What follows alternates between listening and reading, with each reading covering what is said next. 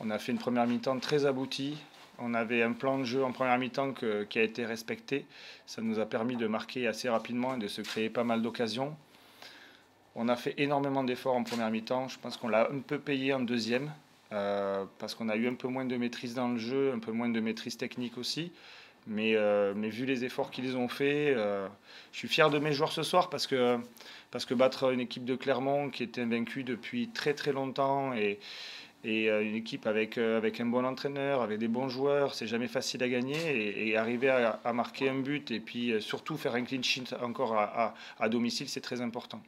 À la mi-temps, on a, on a essayé quand même de, remettre certaines choses en place, mais, mais il est vrai que dans l'investissement, dans, ce qu'on avait travaillé au niveau de notre, de notre pressing, au niveau de notre jeu, euh, ils ont respecté euh, à la lettre ce qu'on ce qu'on avait demandé et, ce que j'avais demandé. Et, euh, et, derrière, on a été récompensé. Donc, après, ça demande énormément d'efforts. Il, faut il faudrait que maintenant, on arrive à le faire durer dans le temps pendant, pendant la durée des matchs.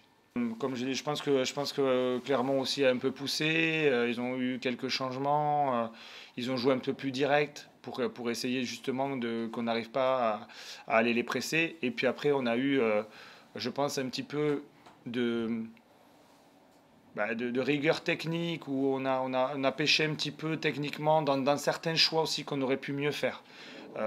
notamment aussi au niveau des entrées. Ça a été paradoxalement un peu timide ce soir.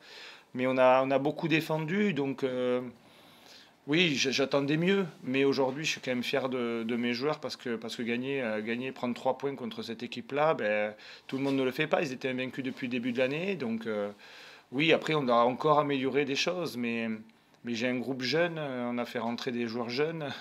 Donc voilà, il faut, à part peut-être Yo qui est rentré pour amener de son expérience et pouvoir encore nous, être décisif. Mais, mais pour le reste, euh, voilà, on, on essaye de faire euh, avec le groupe que j'ai et c'est un groupe en qui j'ai énormément confiance. C'est vrai qu'à l'extérieur, on n'a pas, été, euh, pas été très performant, mais sauf peut-être sur le match d'Auxerre où je pense qu'on méritait largement mieux et on avait revu les images cette, cette semaine. Après, moi, vous savez, les joueurs, ils ont confiance en, ce notre projet de jeu, ils ont confiance en ce qu'on met en place. Après, des fois, ça, il y a des petites. Euh, quand on est trop joueur par moment, ben, ça peut nous coûter cher. Euh, mais, mais, bon, c'est ma philosophie. Euh, j'ai envie de, de, de, jouer comme ça. J'aimerais mieux jouer, bien sûr.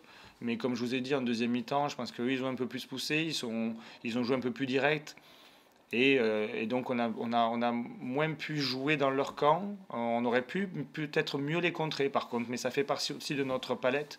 C'est qu'on doit être capable aussi à un moment donné, quand on joue un peu plus bas, d'être meilleur dans les derniers choix et dans les derniers gestes, notamment, notamment en contre.